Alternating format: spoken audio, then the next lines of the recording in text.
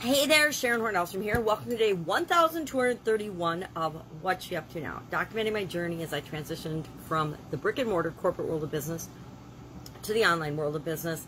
And then I, I think I've mentioned that in 2021 I'm doing a little bit more of both, not just strictly online, a little more offline, because I miss offline. And I think that COVID 19 has shown us that America, where I live, the United States, needs a lot more solid, sound foundation in the areas that I've experienced in, which is primarily manufacturing.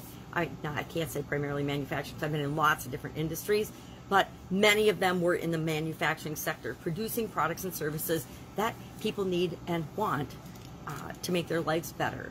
So today I was sharing for Supersize Your Business. The, it, it, I usually share an idiom every day. And yesterday, as I was researching Get the Ball Rolling for idioms, I came across a little article from Inc. magazine. It was back in, I think, 2015 about phrases you should use to sound more professional. I read the list. I thought it was interesting. Wrote the list down. If I if I think something's interesting, I usually capture it in one of these little notebooks and probably never go back and look at it. But I think the act of writing it down helps me to remember things better. Uh, my vision is kind of shot these days, so it's a, just another memory tool for me. So I wrote down the phrases and I shared them instead of another idiom today. I could find another idiom, of course, and I will be doing that again tomorrow. But I thought on the weekends it's kind of fun to have a change of pace and talk about something different. So I shared the phrases and talked a little bit about each one and then asked people to say, hey, do you use these phrases? Have you used them? Have you heard them? Do you think they sound sincere? Do they work for you or not? Because everything we do when we're learning to communicate and wanting to communicate better is all about is the person that we're talking to or communicating to, are they receiving the message like we're intending it to be sent? Because the, I would say that the biggest cause of breakdown in any business, any relationship, anything, almost always boils down to communication.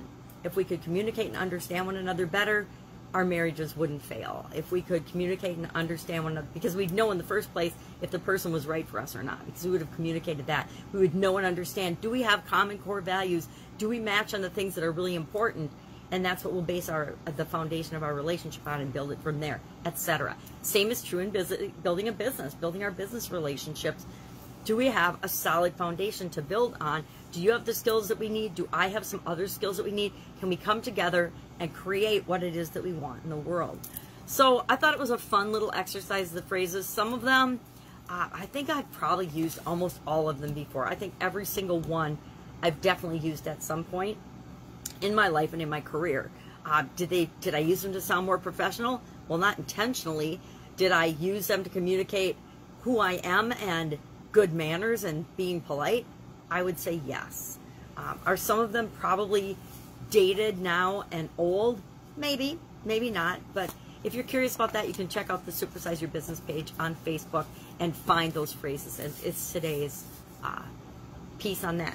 Our and our challenge, our 365 day challenge to do one thing every day that centers us was about success and the definition of success. And I actually really like this one because it says there's only one success to be able to spend your life in your own way.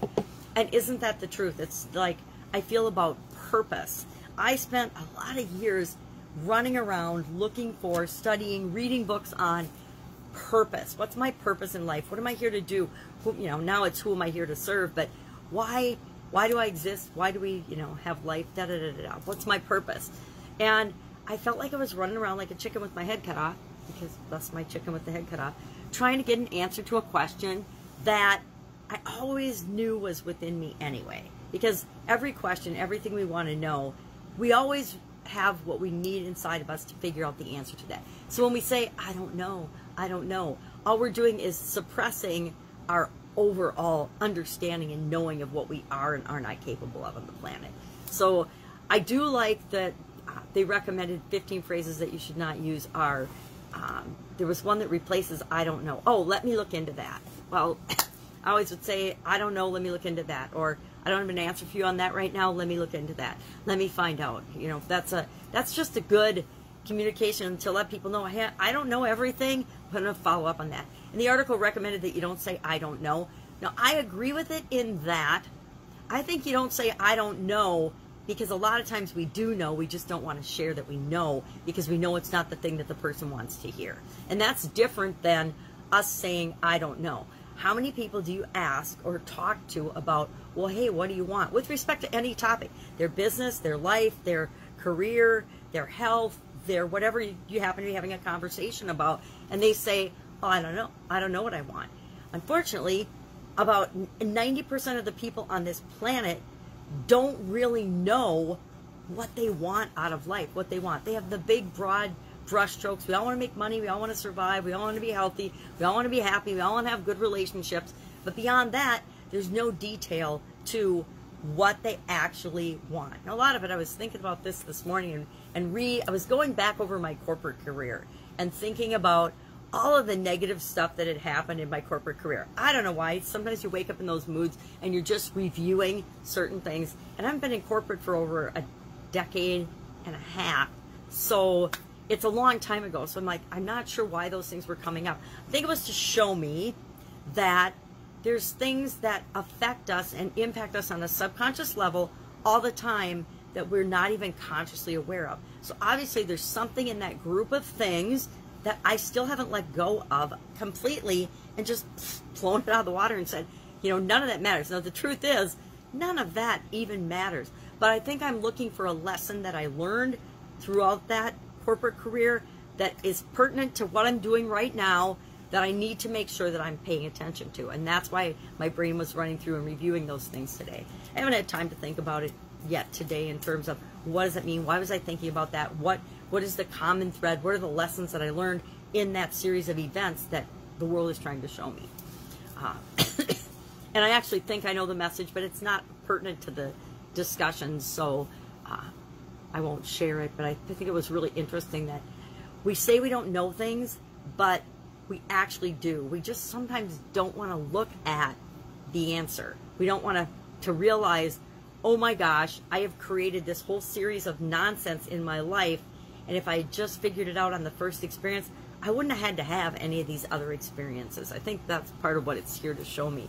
And that instead of being afraid of the next experience, realize that you can trust yourself and it doesn't matter what those things those were all there to teach and show you something and you'll keep seeing the lesson at least in my experience i will keep seeing versions of the lesson until the the light bulb goes off, I have the epiphany, and I actually get the lesson that I'm supposed to learn.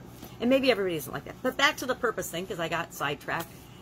I did all this studying, all this reading, read all the authors on purpose and the meaning of life, and you know, Eckhart Tolle's the you know present moment now. Learned a lot of really cool things, but I didn't feel like any of it, anybody's strategies, anybody's frameworks, anybody's systems, anybody's way of defining my purpose actually helped me to define my purpose. And it wasn't until one day, I don't remember what I was doing, probably nothing related to purpose seeking at all. And I just realized that my purpose is to be the best possible version of myself. It's to experience this life, my life, as only I uniquely can. That is my purpose. That's my overriding, overall purpose.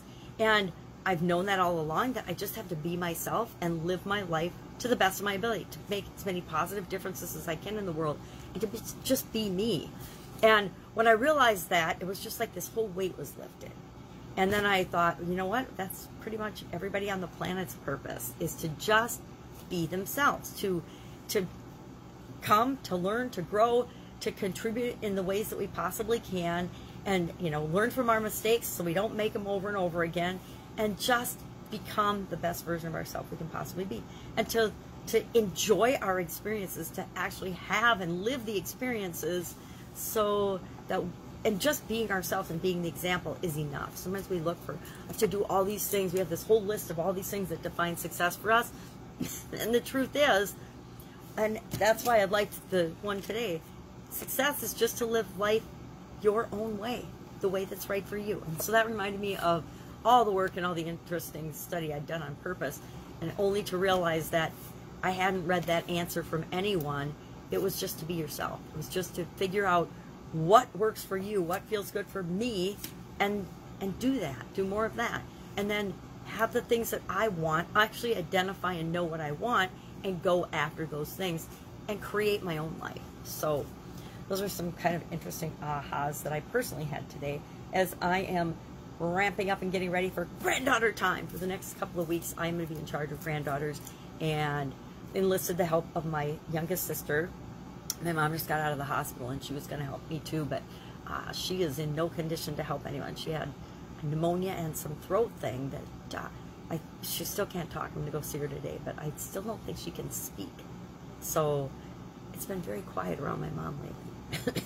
anyway, that is what I'm working on. Uh, most of my projects and most of my coaching and most of my everything is very minimal for the next couple of weeks so that I can focus on the beautiful human beings that make my life such a joy.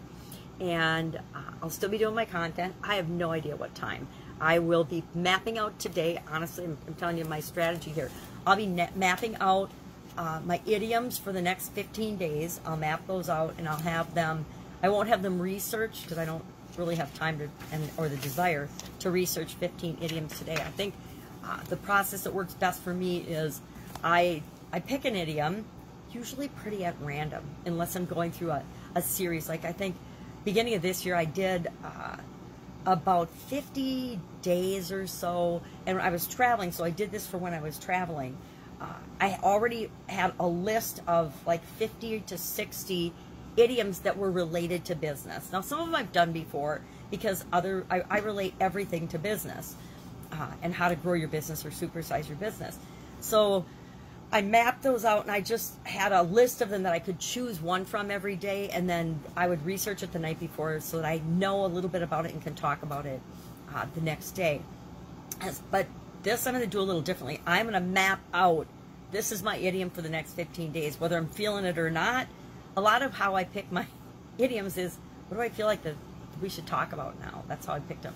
Um, I would pick them randomly from a book of like 600 and some idioms initially. And then when the book ran out, because I made myself do all of them, I had to find other sources. And I just got a new uh, phrase book. Well, it's probably not new. It's probably 50 years old from my aunt and uncle. But it's fun to go back and revisit and see how many of the phrases and the idioms and things we use today are things that we used 50 years ago or 100 years ago or hundreds of years ago. Heck, half, a lot of the things we say today still came originally from the Bible or from back thousands of years ago. And so it's really fun to to realize that language is important and that it comes with us no matter what we're doing. Why? Because that's how we communicate with people. We're talking about teaching my my four month old granddaughter sign language. So my daughter and I are learning the signs for different uh, different things that and what they mean. So it's it's kind of fun that, and I, I think she's going to get it really easily. She's, she's teething and already trying to walk, so which is crazy to me. I want her to crawl. My son was one of those babies that never crawled. He just went from laying down to running. He he skipped both crawling and walking, and he just went right to running. And he was like a little a little um, what are those games? Ping pong games? Not ping pong. Um, oh, what are those games called? Electronic games, the old flat ones before they had video games um, from the arcade. Why can't I remember the name of that? Anyway, he was like that. He would go from place to place to place and fall down and get back up and run, run. But he would run from place to place to place. And so I want to make sure that she actually crawls and walks and doesn't move as quickly as he does because uh, I don't want her to fall and hurt herself. All right, that's all I've got today. If I can help you in any way, ask. Hit me up in the comments below. I'm going to say ask today and tomorrow because beyond that, I will get back to you as soon as I possibly can. But there are no guarantees it would be as quick a turnaround time as I have now. All right, have an amazing day, and I'll, of course, be with you tomorrow. Bye. Think of some things that, phrases that you use that make you sound the way you want to. All right,